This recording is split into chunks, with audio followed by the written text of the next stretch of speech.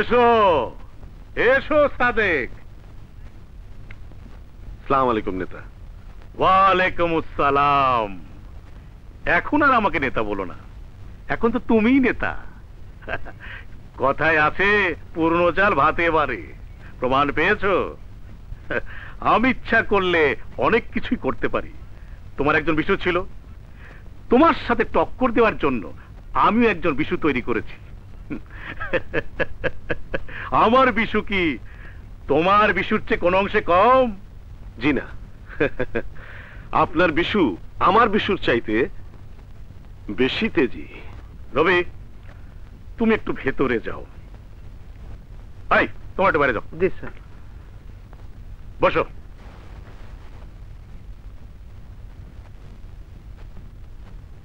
তুমি এখন running MP.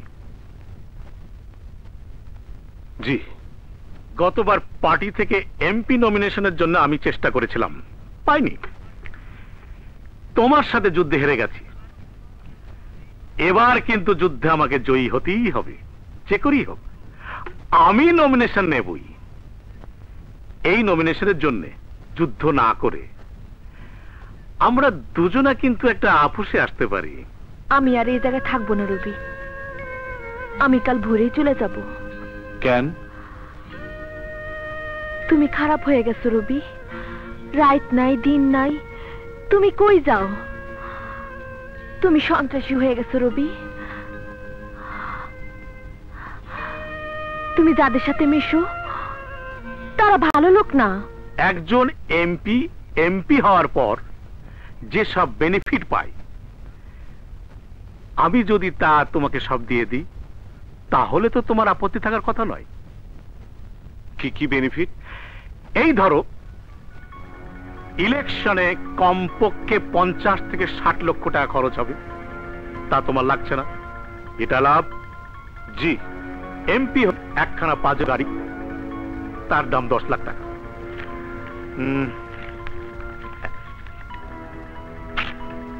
এই তার চেক পাঁচ বছরে পাঁচটা ইফতার পার্টির জন্য চাঁদা আদায় হবে পঁচিশ লাখ। হুম খরচ হবে পাঁচ লাখ। আর তুমি মারবে বিশ লাখ।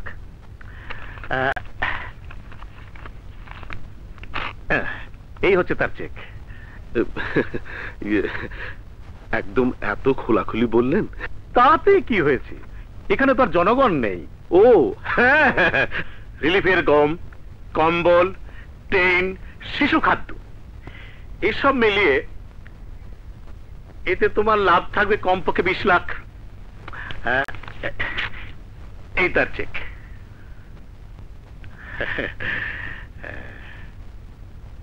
তবে হ্যাঁ আমি এমপি হবার পর সব চেক অনার হবে।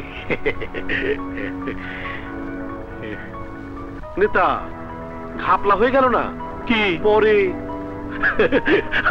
আগে এমপি হয়ে নি। হবে? হবে না মানে? কি খুশি? খুশি। হ্যাঁ, খুশি।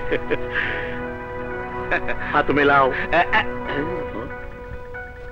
কিন্তু বাই চান্স যদি আমাদের পার্টি ক্ষমতায় আসে আর আপনি যদি প্রাইম মিনিস্টারের চামচামি করে মন্ত্রী হয়ে যান তাহলে তো পাঁচ বছরে পঞ্চাশ কোটি আপনার গুটি তো লাল। আমার যদি গুটি লাল হয় তাহলে কমপক্ষে তোমার গুটি লাল না হলেও হলুদ তো হবে? হাত মেলাও হবে? তাহলে তো। সব হলো। একটা কথা কি ভেবেছেন আপনি? কি? আমাদের পার্টির নেতা লুৎফর রহমান। যিনি সেদিন আমাদের দুজনকে ডেকে নিয়ে ধোলাই করলেন। তার কথা কি বুঝতে পেরেছেন? আমরা দুজন আর কেহই নমিনেশন পাচ্ছি না। তাহলে